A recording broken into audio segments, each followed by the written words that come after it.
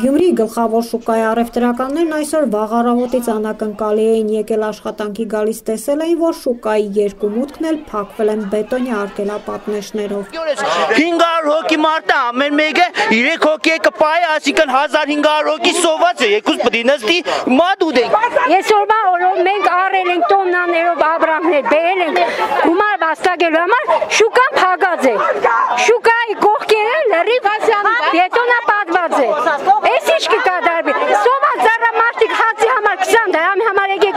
այսօրվա օրը չեն գնա իրանց համար մի 10 դրամ տուն տանին, բռնել շուկան լրիվ փակած է։ Զայրացած առևտրականները միրգ բանջարեղենով բեռնված մեքենաներով փակել էին քաղաքի կենտրոնական Վարդանանց հրապարակ տանող ճանապարհը։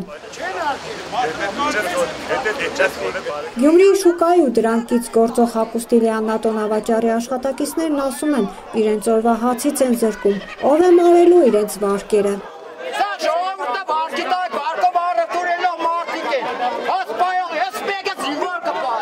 Բողոքող առևտրականները հասան քաղաքապետարան պահանջելով հանդիպում քաղաքապետի հետ, որ լուծում տա խնդրին։ Դժվարության բողոքողներին հաջողվեց մուտք գործել քաղաքապետարանի շենք։ Քաղաքապետի փոխարեն բողոքողների հետ հանդիպման իջավ քաղաքապետի տեղակալ Վաղարշակ Մխիթարյանը, ով խոստացավ խնդրին շատ արագ լուծում տալ։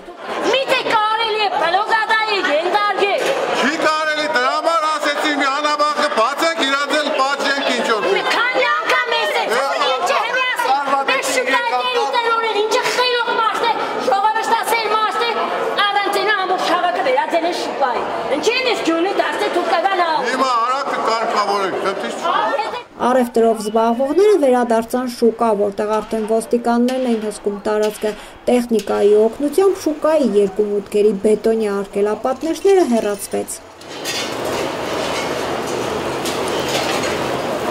Թե ով եւ ինչու են փակել շուկայի մուտքերը, པարզ կդառնա քննության ընթացքում։